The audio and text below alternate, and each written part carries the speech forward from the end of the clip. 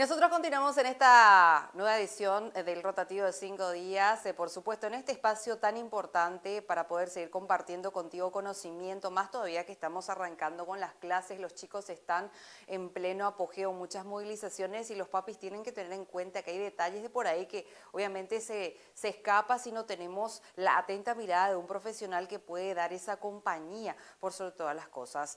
Cuando le llevamos a la psicopedagoga, cuando eh, recurrimos a esa ayuda externa, bueno, esta y otras consultas más, por supuesto, ya nos va a estar evacuando la profesional que ya está con nosotros en este momento para poder compartir, para poder hablarnos acerca de esto y bueno, todos los detalles que tenemos que tener en cuenta cuando, bueno, están en una etapa tan importante como la es el desarrollo. Está con nosotros eh, la docente neuropsicopedagoga y también neuro, lo digo mejor, psicóloga infantil, Karina Correa. Le damos la bienvenida. Muchas gracias por estar con nosotros en esta tarde. Muchísimas gracias Nadia, muchísimas gracias al canal por el espacio y qué hermosa tarde para toda la teleaudiencia.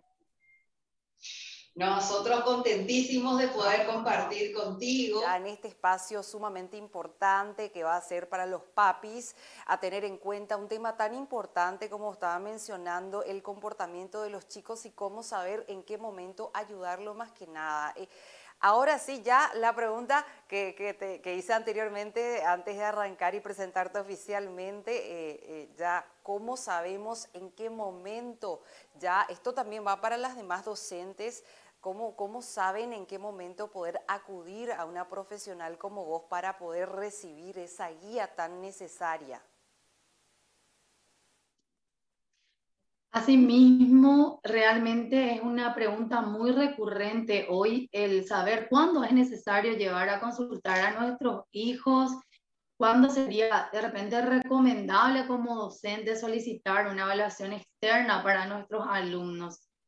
Y realmente eh, tenemos que tener primeramente eh, y fundamental esto que, que les voy a decir, tener un ojo clínico, un ojo clínico, una mirada más allá, ¿verdad? De una simple observación como padres, como cuidadores, como docentes, para poder diferenciar una dificultad de una quizás característica propia de la edad y de las etapas evolutivas en las que esté el, el, niño o el adolescente en ese momento, ¿sí? Entonces, ¿por qué eh, priorizo eso? Porque muchas veces eh, la primera mirada de cómo voy observando las conductas, eh, los pequeños detalles que, que, va presentando mi hijo en casa o mi alumno en, en el aula, eso hace justamente eh, la diferencia para poder saber si realmente amerita una consulta psicopedagógica o psicológica o simplemente es propio de la edad. En general, cuando observamos dificultades nosotros eh, bien concretas, bien marcadas en las habilidades cognitivas, ¿cuáles son esas habilidades cognitivas? Sabemos que es son procesos mentales como el lenguaje, eh, como las orientaciones espaciales, eh, las noxias y las praxias, que son justamente la, la, ejecución en sí del niño que vemos después en los procesos eh, ya de la escritura, de la motricidad, todas esas áreas, ir observando de forma detallada para poder hacer esa diferenciación si es o no una dificultad propia. ¿sí? Para solicitar muchas veces esa evaluación a nivel profesional, eh, también es importante qué área en sí está alterada. ¿Por qué me refiero al área? Recordemos que nuestro cerebro ¿verdad? es un todo que está manejando una combinación de todas esas habilidades y capacidades que tenemos como seres humanos. Entonces, cuando nosotros nos tenemos que, que, que como hacer un, un, una alerta, un, un, alto, mirar esas conductas propias.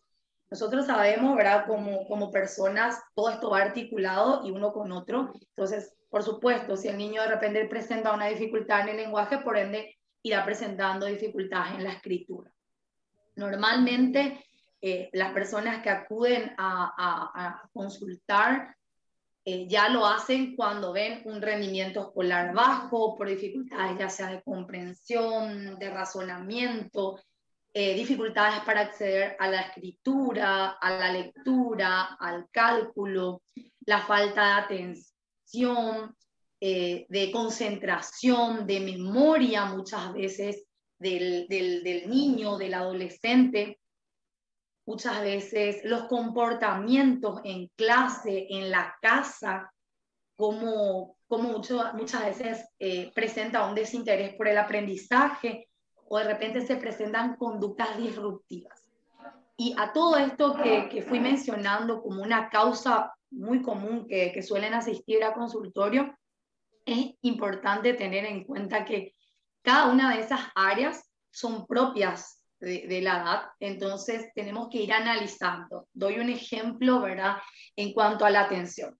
No es lo mismo la atención de un niño de dos años que uno de tres o de cuatro, ¿sí? Tenemos que entender en qué etapa va transcurriendo mi hijo o mi alumno. Por eso tener en cuenta que qué es lo que puede hacer, hasta qué nivel tiene que, puede lograrlo o no pueden lograrlo para poder ir a consultorio. Entonces, es importantísimo, sí, hacer una evaluación de estos puntos, más que nada porque una evaluación de forma preventiva, un diagnóstico muchas veces, eh, quiero destacar esto, no es una, una forma de etiquetar al, al, paciente, no es una forma de etiquetar al alumno, sino una evaluación temprana, una evaluación, sirve para poder tener un, índice de base de trabajo. Si presenta dificultades, eh, en qué áreas específicas presenta esas dificultades y poder hacer el abordaje a tiempo y en tiempo, para que realmente sea favorable para el niño, sea favorable para el adolescente en este momento. Entonces, como les digo, tener un ojo bien clínico como papás y si se me presenta eh, rendimientos escolares bajos, que sea un, un, estado de alerta para mi papá, para mi docente, no está logrando, por qué no está logrando, si hay un nivel de comprensión, de expresión, eh, de razonamiento inferior, mi estado de alerta eh, tiene que estar encendido para que yo pueda hacer las consultas pertinentes y en los lugares pertinentes, ¿verdad? Me refiero a los lugares pertinentes porque también tenemos que tener en cuenta en dónde llevarle a nuestros chicos o, o realmente a qué profesional asistir, ¿verdad? Porque ya dice todo su nombre psicopedagógico, neuropsicológico, fonoaudiológico. Entonces, eh, para que yo también, eh, mamá o docente, pueda hacer esas derivaciones pertinentes tener en cuenta eso. ¿sí? Totalmente bastante importante. El, todo el contenido que nos está dando en estos minutos, nosotros ya estamos absorbiendo como esponja también los papis que tienen que tener en cuenta estos detalles. Por otra parte, así como mencionaba, es importante tener, estar en alerta siempre y más todavía con ciertas situaciones y ciertos signos de alerta.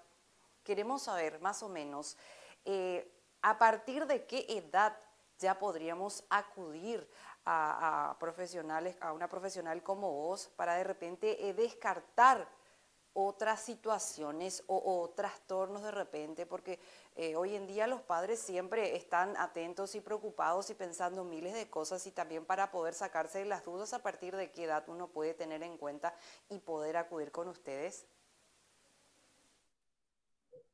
Realmente eh, hoy en día las evaluaciones avanzaron muchísimo y podemos hacer ya detecciones desde los 10, antes de los 18 meses, donde ya el lenguaje está un poco más incorporado, donde las conductas ya están un poco más eh, acentuadas. Entonces, eh, la mirada como padres, como, como docentes, ya lo tenemos que ir teniendo desde bebecitos, ¿verdad? Cuando ya el lenguaje es tardío, cuando el niño la parte motriz ya no está llevando a la ejecución como corresponde. Desde meses ya tenemos que tener esa mirada y a partir de, del año, año y medio, ya puede ser eh, se puede hacer una evaluación con un diagnóstico presuntivo. Eh, ¿Por qué hago un poco hincapié en esto de diagnóstico presuntivo? Porque muchas veces como son chiquitos y están en un proceso todavía de maduración, de crecimiento, eh, muchas veces eh, eh, van cambiando, van creciendo, se van desarrollando, entonces es importante tener también en cuenta que muchos profesionales hacen como ese diagnóstico presuntivo. Ahora, me gusta mucho hacer de esa manera también a mí mi trabajo porque creo que, que tenemos que respetar muchísimo la, la evolutiva del niño y ese proceso de crecimiento que está teniendo, entonces como para poder ir eh, no solamente eh, detectando, sino haciendo el abordaje que corresponde. Por otra parte, es lo mismo la evaluación psicopedagógica que la neuropsicopedagógica. Para en cuenta. Realmente es la pregunta que, siempre hacen y la respuesta es un sí y un no, porque ambas, ambas valoraciones tienen eh, el, el, el, mismo fin, identificar la dificultad y buscar, ¿verdad? Eh, en este caso, la problemática que está presentando y por qué lo está presentando.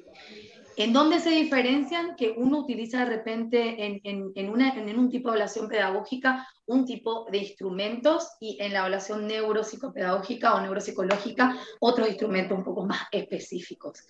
Eh, por lo general, la evaluación psicopedagógica se centra mucho en la evaluación más, como dice su nombre, más pedagógica del paciente detecta y describe las dificultades para luego abordarlas. De igual manera la evaluación neuropsicológica, pero como dice su nombre, neuropsicológica o neuropsicopedagógica, hace como un, abre como un abanico más, más grande, ¿verdad? Y va como un paso más allá para tratar eh, de identificar no solamente la dificultad que, que, está presentando el chico o en el área, sino que hace como, un, como una asociación eh, la dificultad con el área afectada, ¿verdad? Y como dije, hace hincapié lo neuropsicológico, lo neuro hace esa evaluación más a la función del cerebro de la persona. Entonces, es como un poco más específico. Todas las dudas dispersas, papis, mamis, ya te... Porque es interesante también tener esta información. Por otra parte, saber un poquitito, ya que por supuesto nos interesa eh, conocer un poco más. Hay muchas personas que de repente, bueno, eh, o muchos niños que por, por falta de esa estimulación, que por eso es necesaria siempre darle esa estimulación desde pequeñitos, eh, no, de repente es como que no dan esos frutos o ese rendimiento por otra parte y, de repente es como que los encajonan en, en ciertas situaciones, por ejemplo, se suele escuchar mucho que por, por ciertos rasgos o por la desinformación de repente eh, dicen que el niño es de TEA. Esa parte por ahí nos puede explicar un poquitito más para poder eh, salir de dudas ante ciertas situaciones o ciertos rasgos que de repente los padres ven y se confunden. Así tal cual, ¿verdad? Hoy, hoy en día es como que escuchamos muchísimo, ¿verdad? Y decimos, wow, ¿qué, qué está pasando? ¿verdad? Se están presentando mayormente casos con, con este diagnóstico. Y realmente eh, es mi área, ¿verdad? Específica. Yo me centro mucho en la evaluación para, hacer, para la detección y el descarte de, personas dentro, que, que, estén o no eh, dentro del espectro, ¿sí? Que es lo que decimos eh, TEA. Y tenemos que entender que dentro de, de TEA hay no solamente ¿verdad? el concepto autismo, también tenemos em, el Asperger, ¿sí? Porque también tenemos que entender que hay nivelaciones en cuanto a, a este tipo de diagnóstico. También le tenemos al trastorno del espectro del lenguaje, TEL, que están ahí como muy, muy, muy asociados. Por decir así, es, es demasiada la, la línea que existe para hacer, una línea muy delgada para hacer la diferenciación y por eso es muy, muy, muy importante que cuando acudimos para este tipo de diagnóstico, lo acudamos y lo hagamos con profesionales que sean eh, eh, del área, ¿verdad? Porque no es lo mismo tratar a un niño con Asperger, no es lo mismo tratar a un niño con autismo, no es lo mismo tratar a un niño TED, ¿sí? Entonces, eh, eso por un lado.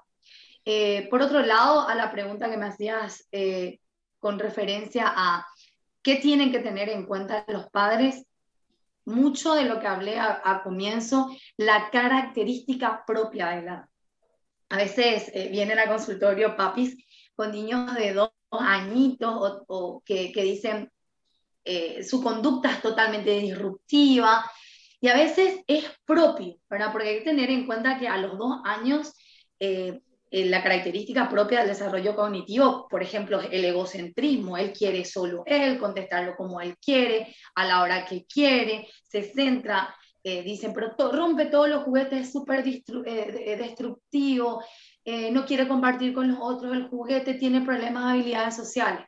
Ojo, es propio de la edad todavía en un niñito de dos años cuando no quiere compartir, ¿verdad? No, no precisamente está presentando una eh, dificultad en la habilidad social y no por eso yo ya le tengo que eh, centrar como o evaluar o diagnosticar como un niño TEA. ¿sí? Para hay, hay, sí, una plantilla como para tener las caracterizaciones, la sintomatología, como lo diríamos a nivel consultorio, para tener en cuenta si los rasgos hacen o no, ¿sí? Entran o no, como le decimos nosotros, entran o no en la categorización. Pero hay que tener mucho ojo con eso y por lo general yo les recomiendo a los papis, a los docentes, si ven que esas conductas que, que, ya se están haciendo muy atenuantes, se hacen muy eh, como repetitivas, sí es importante ya acudir a profesionales, porque ahí tendría que ser más allá que una simple mirada eh, del padre o del docente, porque esas caracterizaciones ya son mucho más delicadas. Perfecto. Y para las personas que quieran acudir a partir contigo, a sacarse de dudas, también a, a, realizarse esta, bueno, realizarle a los chicos esta evaluación tan importante para poder descartar y darle esa tranquilidad a tantos padres que tal vez están un poco confundidos en ese sentido, eh, ¿cómo pueden hacer para poder contactar contigo, agendar una cita o, bien empezar ya esas sesiones eh, para poder arrancar con ese camino fantástico de la estimulación. Paso mi, dato, verá, el, número del consultorio es 0983 962 800. Estoy haciendo consultorio acá en la ciudad de Lambaré, en el corazón de todo, ¿verdad? Que estoy a, un paso entre, eh, del que le dirían Cuatro Mojón, Asunción, Ñembuy, entonces es como un, eh, el corazón de todos, diríamos, ¿verdad? Eh, lo hago, hago consultorio de lunes a viernes a partir de las 4 de la tarde hasta las 8 de la noche y los días sábados de 7 y media a 12 y media. También me pueden contactar en mi página de Instagram, que me, me, encuentran como Cari Correa 1985, o en el Facebook, que me pueden encontrar con la página del consultorio psiconeuropedagógico eh, Karina Correa Garayo. Colocan mi nombre así completito y es una página justamente donde eh, utilizamos eso, ¿verdad? Para, para consultas, para de repente eh, cuestiones generales como para saber si no traerle al consultorio. Está, todos los datos, perfecto. Papi. Anotando entonces esta información sumamente importante, queremos agradecerte, eh, Karina, por este tiempo que nos diste, por este conocimiento bastante importante y tan rico que por supuesto vamos a saber aprovechar y también las personas ya se van a estar comunicando contigo para poder salir de dudas y bueno, que puedas también acompañar y seguir, eh, como se dice, ese proceso tan importante para que los chicos y los papis eh, estén muy, pero muy bien en este camino. Espero que realmente haya sido de, aporte, de ayuda para los padres, para que tengan en cuenta los profes también. Y agradecida por este espacio al canal nuevamente y eh, que tengan una hermosa tarde a toda la teleaudiencia. Feliz resto de jornada, que tengas un excelente inicio de semana. Gracias, gracias.